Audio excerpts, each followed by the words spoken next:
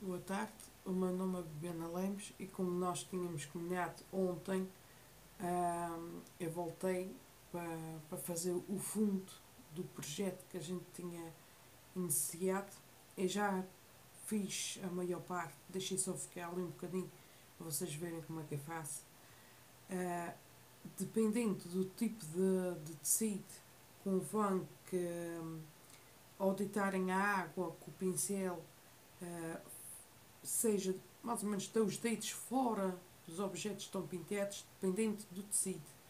Que assim um, há tecido que se a, tinta, se a, a própria tinta aguada e a água foi em cima, dá para limpar e tudo bom.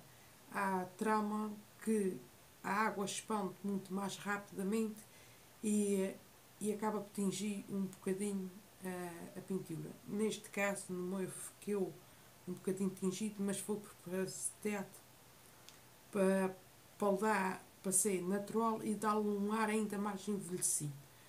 Portanto, uh, depois eu mostro aqui embaixo para vocês verem como é que, como é que ficou a folhinha, que eu achei que ficou muito mais bonita assim. Uh, vou agora fazer aqui na parte em cima, vou molhar com o próprio pincel melhor tecido.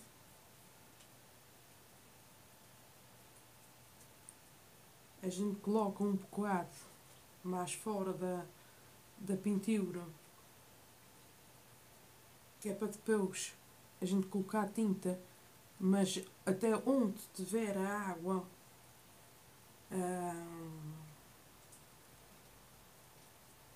a água vai a água não, perdão, a, a tinta vai expandir e vai ficar num tom muito mais muito mais suave.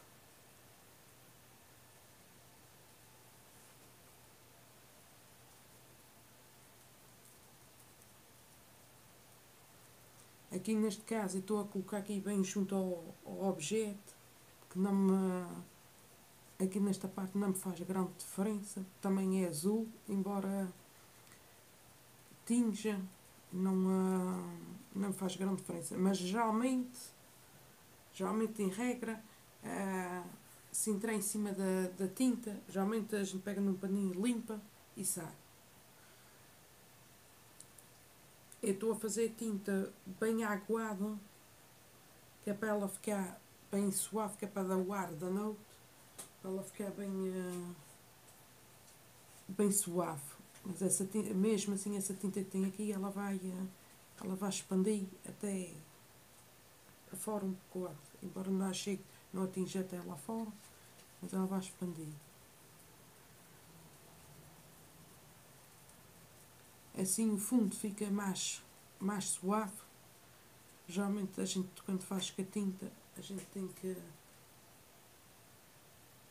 tem que esticar bem a tinta e tem que ser bem tesoura por causa de, de não ficar com manchas.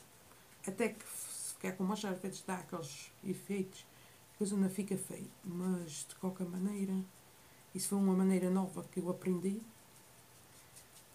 E acho que é mais fácil para dar fundo, acho que é muito mais fácil.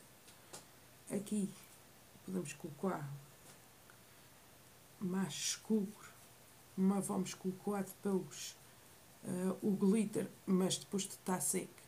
Isso agora tem que secar muito bem seco, tem que ficar bem, bem, bem seco, que é para fazer uh, expandir a tinta, tem que ficar bem seco e só depois de estar bem seco é que eu posso aplicar o glitter relevo 3D, como eu tinha dito ontem, porque um, não se pode colocar o glitter em cima de tecido molhado, depois vai, vai descolar.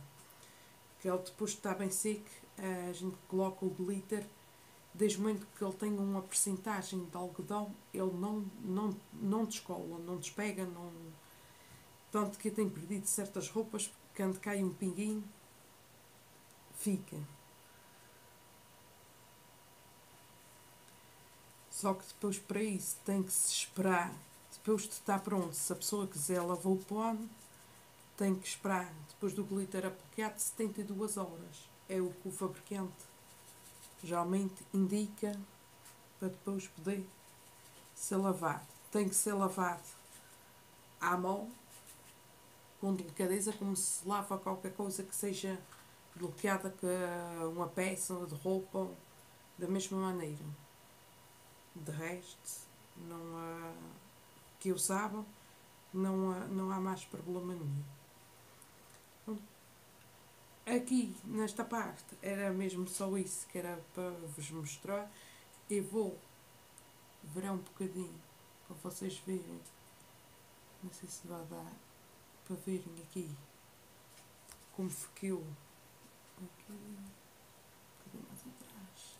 Aqui ficou tipo manchada e aqui também ficou um bocadinho. Mas já foi mesmo para dar aquele ar de, de velho. Geralmente quando a gente tem uma folha mais velha ou mais antiga, às vezes ela tem acaba por apanhar várias manchas de várias coisas durante o ano, da umidade, de, de, e então para dar o ar ainda ficou mais, ainda, para mim ainda ficou mais bonito assim, ainda lhe deu um ar mais antigo. Pronto, para essa parte ficamos por aqui, que era só para fazer o fundo e fiz um bocadinho ali para vocês verem que depois para fazer assim torna-se muito longo e demora muito tempo para depois carregar o vídeo. Uh, está dada a explicação. Da próxima vez, quando isto estiver bem seco, nós uh, voltamos e então eu, uh, eu coloco o glitter. Não, não tem nada de especial, não tem nada, mas depois coloco o glitter junto com vocês, vocês verem como é que, como é que as coisas ficaram. Okay? Obrigada. Obviamente o meu nome é Bibiana Leis e espero vocês num outro vídeo. Obrigada.